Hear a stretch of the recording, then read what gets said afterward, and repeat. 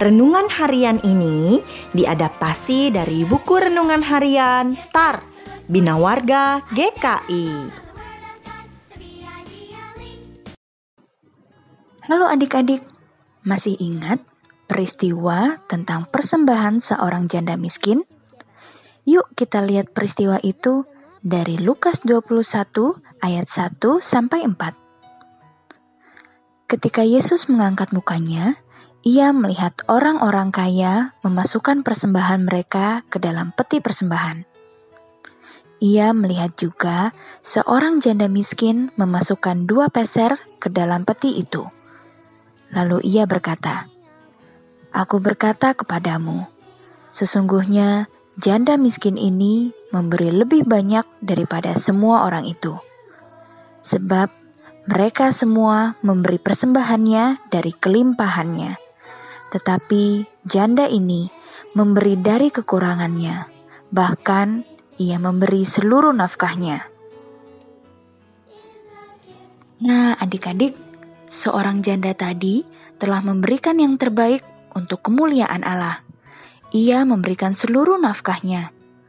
Walaupun ia sangat berkekurangan, tapi ia mau memberikan persembahan dengan senang hati. Begitu juga dengan kita adik-adik. Kita telah diberikan berkat yang banyak sekali. Kita dikasihi Tuhan, dipelihara, dan juga masing-masing kita diberikan talenta yang berbeda-beda. Kita mau memberikan yang terbaik bagi kemuliaan Tuhan, bukan hanya dengan uang, kita juga dapat memberikan persembahan melalui hidup kita dengan memberikan kembali waktu, tenaga, kemampuan, dan talenta yang diberikan Tuhan dengan sepenuh hati. Seperti menolong orang lain yang sedang kesusahan, membantu mama papa, atau berani ikut pelayanan di gereja tindakan besar atau kecil, semuanya itu baik. Yang paling penting adalah adik-adik melakukannya dengan sungguh-sungguh dan sepenuh hati. Yuk kita berdoa. Bapa di surga, kami mengucap syukur atas penyertaan-Mu dalam hidup kami.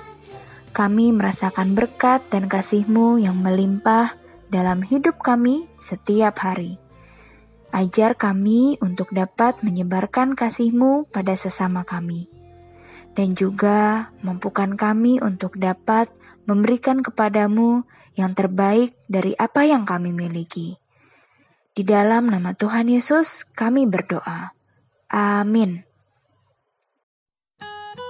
Lord, if we could, we would fill our hands with all the wonderful things you give us. Then we'd lift them up and give them back to you.